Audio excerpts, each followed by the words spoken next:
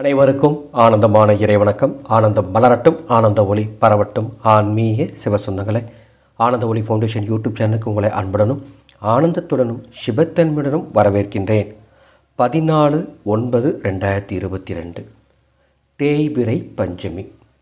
இந்த தேய்பிறை பஞ்சமியில் அம்பாளுக்கு வராகி தாய்க்கு உங்களது பீடைகள்லாம் போகிறதுக்கு ஒரு தீபம் ஏற்றி வழிபாடு செய்யணும்.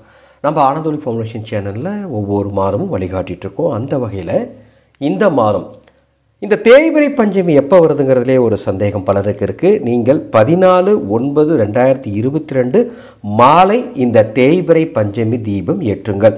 அதில் எந்த விதமான சந்தேகமும் உங்களுக்கு வேண்டாம். பதினான்கு ஒன்பது ரெண்டாயிரத்தி இருபத்தி ரெண்டு ஆவணி இருபத்தி ஒன்பது புதன்கிழமை மாலை ஐந்து முப்பது மணிக்கு மேலே இரவு எட்டு முப்பது மணிக்குள்ள எப்போனாலும் இந்த தீப வழிபாடு செய்யலாம். இந்த தீபம் எங்கே ஏற்ற வேண்டும்? உங்கள் வீட்டு பூஜை அறை அல்லது உங்கள் வீட்டு ஹால் பகுதி அல்லது சமையலறையில் கூட தீபம் ஏற்றலாம்.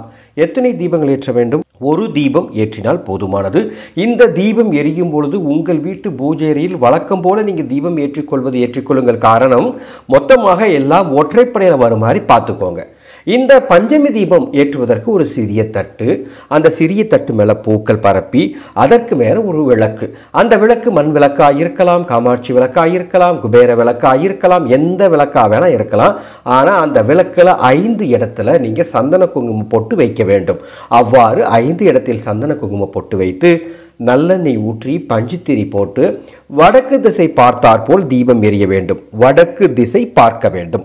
அதாவது தீபத்தின் சுடர் வடக்கு திசை பார்த்தாற்போல் இருக்க வேண்டும்.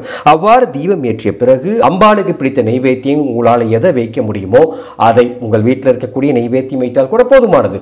எதை வேணால் நெய்வேத்தியமாக வைத்து அந்த விளக்கை அந்த பஞ்சமி விளக்கை மூன்று முறை வலம் வர வேண்டும். மூன்று முறை வளம் வந்து அந்த தீபச்சுடரை பார்த்து அந்த தீபச்சுடரில் அன்னை வராகி தேவி அமர்ந்திருப்பதாக பாவனை செய்து அன்னை வராகி தேவி இருப்பதாக உணர்ந்து அன்னை வராகி தேவியை காட்சி தருவதாக அந்த ஒளியை ஆழமாக சரணாகதியோடு பார்த்து நீங்கள் அம்மாவை வணங்குங்க. வேறு எந்த விதமான மந்திரமும் சொல்ல வேண்டாம். அம்மாவை வணங்கி நீங்கள் அம்மாவின் தரிசனத்தை அந்த தீபச்சுடரில் பார்த்துட்டு கற்பூர தீபம் காட்டிட்டு அந்த தீபம் அந்த பஞ்சமி தீபம் குறைந்தபட்சம் ஒரு மணி நேரம் எரிந்தால் கூட போதுமானது. ரொம்ப முக்கியமானது. வடக்கு பார்த்து எரிய வேண்டும். தீபம் ஒரு மணி நேரம் எரிய வேண்டும். தீபத்தை மூன்று முறை வலம் வர வேண்டும். நெய்வேத்தியம் உங்களுக்கு என்ன நெய்வேத்தி வைக்க முடியுமோ அதை வைக்க வேண்டும். எதற்காக இந்த வழிபாடு செய்ய வேண்டும்? இந்த வழிபாடு செய்வதால் உங்களது பீடைகள் விலகி ஓடும்.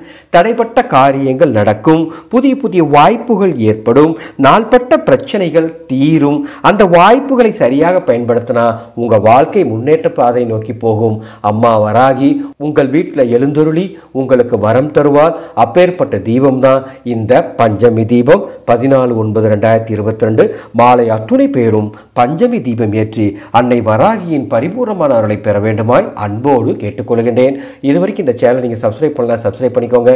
இது போன்ற ஆன்மீக தகவல் உடனுக்குடன் தெரிந்து கொள்ள நம்ம சேனலோடு தொடர்ந்து பயணம் செய்யுங்க. நம்ம சேனலை தொடர்ந்து பாருங்க. வருகின்ற அமாவாசை மகாலய அமாவாசை தவறாமல் இறந்த முன்னோர்களுக்கு திலகோமும் தர்ப்பணம் செய்கிறத முறையாக செய்யுங்க. ஆனந்தூரி அறக்கட்டளை சார்பாக ராமேஸ்வரத்தில் சிறப்பான ஏற்பாடுகள் பண்ணியிருக்கோம். கலந்துக்க விருப்பப்படுறவங்க எந்த சிரமமும் இல்லாமல் நீங்கள் வந்து கலந்துக்கிட்டு போயிடலாம் நீங்கள் எந்த அலட்சணும் பட வேண்டாம். அந்த அளவுக்கு எல்லாமே சிறப்பாக ஏற்பாடு பண்ணியிருக்கோம். அதனுடைய கட்டண விவரம் தேவைன்னா என்னுடைய வாட்ஸ்அப் நம்பருக்கு தொடர்பு கொண்டு கட்டண விவரத்தை கேட்டு பெற்றுக்கொள்ளுங்கள். வருகின்ற அத்தனை பேருக்கும் ராமேஸ்வரம் ராமநாத சுவாமி கோவிலுடைய பிரசாதமும் தீர்த்த பிரசாதமும் வழங்கப்படும் என்பதை அன்போடு தெரிவித்துக் கொள்கின்றேன். மீண்டும் அடுத்த ஒரு ஆன்மீகத்தோடு சந்திக்கிறேன். ஆனந்தம் மலரட்டும் ஆனந்த ஒளி பரவட்டும்.